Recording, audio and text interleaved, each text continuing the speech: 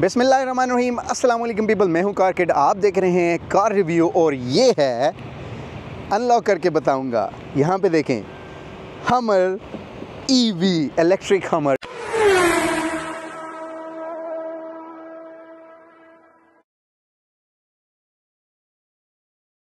इस हमर को मैंने पहले भी रिव्यू किया है, लेकिन अनफॉर्चुनेटली मैं इसको ड्राइव नहीं कर पाया था। ये है जी ड्राइव रिव्यू लेकिन कुछ चीज़ें मैं आपको बता देता हूँ। ये फुली इलेक्ट्रिक हमर है। कितनी बड़ी है आप देख सकते हैं। क्या लाइट्स हैं आप देख सकते हैं। इसमें तीन वेरियंट्स आते हैं। एक थ्री एक्स आता है टू एक्स आता है और ये एडिशन वन है टॉप ऑफ़ द रेंज तीन मोटर्स के साथ एक हज़ार हॉर्स पावर प्रोड्यूस करती है ये और बहुत फास्ट है। ज़ीरो से सौ पे सिर्फ़ तीन सेकंड में जाती है। कुछ यूनिक ऑप्शंस मैं मैं बताना चाहता हूँ। एक ऑप्शन इसमें सबसे पहले ये है कि ये कोई भी गाड़ी आपने ऐसी नहीं देखी होगी जिसका इलेक्ट्रॉनिकली ये फ्रंक या बोनेट खुले और इलेक्ट्रॉनिकली बंद हो जाए। इस पर भी आपके पास रिमोट पर बटन है। इसको डबल प्रेस करेंगे ऐसे। तो ये देखें, इसका बोनट इलेक्ट्रॉनिकली खुलेगा और यहाँ पे बहुत बड़ी स्पेस है। ये रूफ़ पैनल्स के लिए आप रिव्यू देखेंगे, जाके आपको पता चल जाएगा। और अगर आपको बंद करना है दोबारा इलेक्ट्रॉनिकली ये भी दबा सकते हैं और यहाँ पर नीचे पैड है।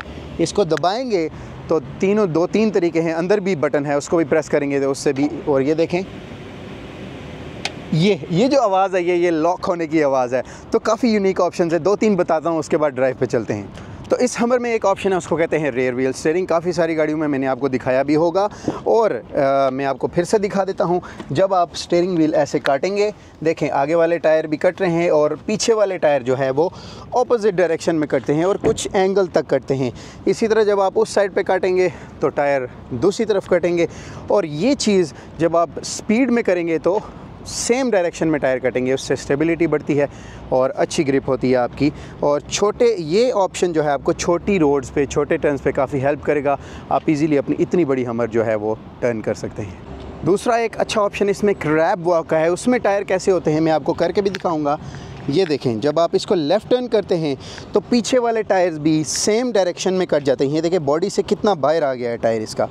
तो इसी तरह कुछ सर्टेन एंगल तक आपने टायर काटने हैं। अगर आपको क्रैब वॉक में चलानी है हमर तो मैं दिखाता हूँ आपको कैसे आप क्रैब वॉक में इसको चला सकते हैं। जब आप गाड़ी में बैठते हैं तो आपके पास एक बटन है यहाँ पे सेंटर कंसोल में। उसमें एक बटन साइड में क्रैब वॉक का ऑप्शन बना है। आप उसको प्रेस करके रखेंगे, कुछ ग्राफिक्स जो हैं, वो चलेंगे यहाँ पे स्क्रीन पे। ऐसे क्रैब बना हुआ आ जाएगा यहाँ पे और एक हमर आपको नज़र आएगी दोनों टायर ऐसे काटते हुए। तो आपने कुछ सर्टेन एंगल पे अपना स्टेयरिंग व्हील काटना ये देखें। मैं पीछे जा रहा हूँ तो थोड़ा थोड़ा आप स्टेयरिंग व्हील काटेंगे तो पीछे वाले टायर भी कुछ एंगल तक कटते हैं, उसी एंगल तक ये हमर, ये देखें क्रैब वॉक कर रही है। इसको कहते हैं जी क्रैब वॉक हमर ईवी का। क्या ज़बरदस्त ऑप्शन है ये ये आपको दूर से और साइड से और पीछे से भी मैं ट्राई करूँगा। क्लिप्स जो है वो लगाने की, ताकि आपको क्लियर पता चल जाए कि क्रैब वॉक क्या होती है। और ये देखें, अभी अब मैं आगे आ रहा हूँ। तो जिस डायरेक्शन में आप स्टेयरिंग व्हील को काटेंगे, उसी डायरेक्शन में पिछले टायर भी कटेंगे और ऐसे हमर ईवी क्रैब वॉक करेगी। ये देखें, आपको किसी और गाड़ी में ये मुश्किल ही मिले, या बहुत कम गाड़ियों में ऐसा होगा।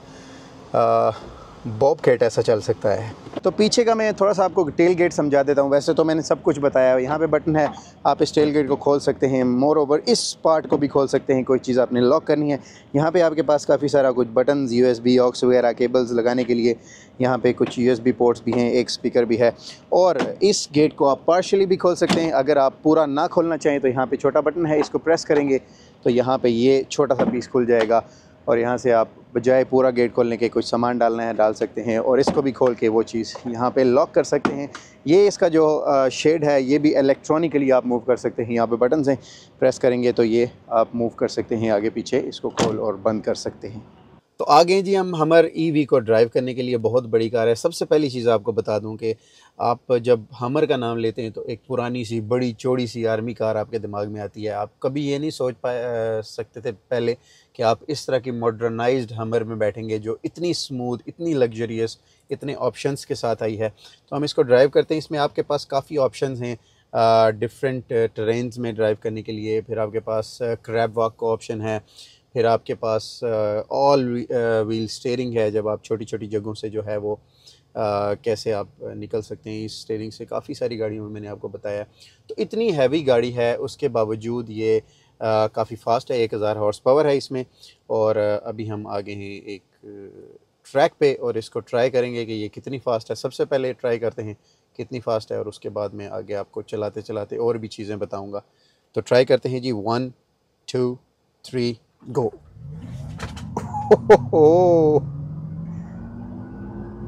okay अच्छा ये गाड़ी है बहुत हैवी ठीक है?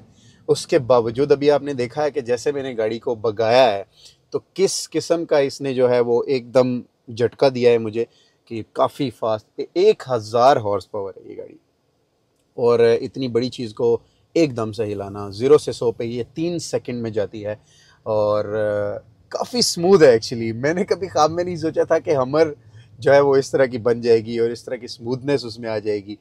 और बड़ा ही ज़बरदस्त मज़ा आ रहा है। उसके बाद ऑफ़ रोड सस्पेंशन हैं इसमें, काफ़ी सारे टरेन्स में ये ऑटोमेटिकली एडजस्ट कर लेती है अपने आप को कि किस तरह के टरेन में किस तरह चलना है।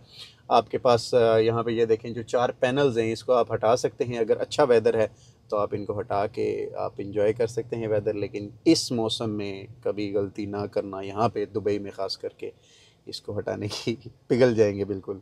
काफ़ी सारे ऑप्शंस जो है वो इसमें ऐड कर दिए गए हैं। सारे मॉडर्नाइज्ड ऑप्शन जो आप सोच सकते हैं कि किसी मॉडर्न गाड़ी में होने चाहिए। इलेक्ट्रिक कर दी है, इतनी ज़्यादा पावर दे दी है।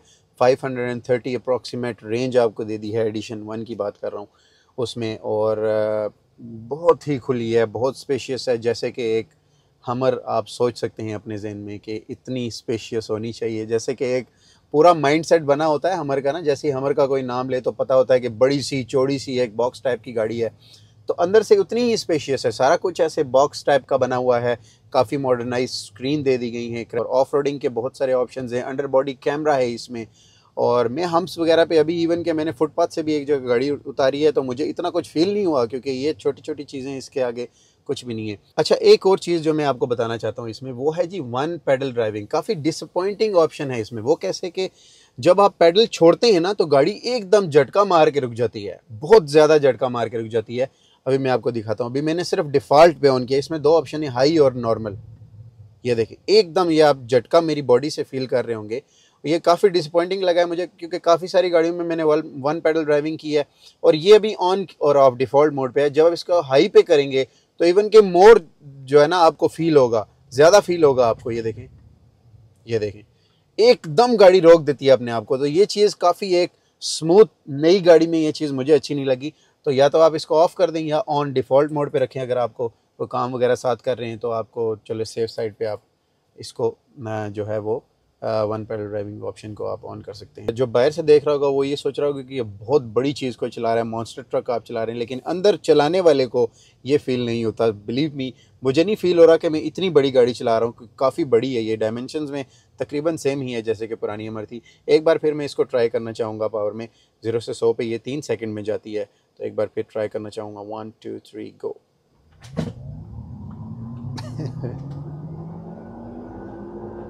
अच्छा आप अगर सोचते हैं ना कि आपको एकदम क्विक रिस्पांस मिलेगा जैसे कि स्पोर्ट्स कार्स में आप एकदम रेस देते हैं तो बिल्कुल जो आपके पेट में दर्द हो जाता है। इसमें वैसा कोई चक्कर नहीं है क्योंकि एक तो ये बहुत हैवी है और दूसरा ये है कि इतनी बड़ी हैवी चीज़ को एकदम क्विक रिस्पॉन्स देना आ, मैं समझता हूँ कि ये जो इसकी परफॉर्मेंस थी अभी बहुत ही रिस्पॉन्सिव थी बहुत ही अच्छी इंप्रेसिव परफॉर्मेंस कहते हैं। कोई शोर नहीं है क्योंकि काफ़ी इलेक्ट्रिक गाड़ियाँ मैंने चलाई हैं और ज़्यादातर जितनी बड़ी गाड़ियाँ होती हैं उतना ज़्यादा शोर होता है टायर्स का और इस तरह। इसमें मुझे अभी तक यकीन करें कि बहुत मैं इम्प्रेस हूँ इसको चला के। ज़्यादा शोर भी नहीं है, कुछ भी नहीं है, बहुत साइलेंट है हर वही बात है कि कभी नहीं सोचा था कि हमर इतनी साइलेंट और स्मूथ हो सकती है कि जब भी आप हमर सोचते हैं तो एक आर्मी ट्रक जहन में आता है। तो ये थी हमारे ईवी की ड्राइव रिव्यू उम्मीद करता हूँ आपको बहुत पसंद आई होगी। मैंने गलती से भी गलत इन्फॉर्मेशन दी हो, उसके लिए माजरत। अगर आपको इंग्लिश में वीडियोस देखनी है तो मेरा चैनल सब्सक्राइब करें, जो है कारकेट आपके पास कोई ऐसी गाड़ी है, ऐसी तो मुझे इस ईमेल आईडी पे मेल करें, अपना बहुत ख्याल रखें। मेरे इस चैनल का भी अगली वीडियो तक के लिए अल्लाह हाफिज़।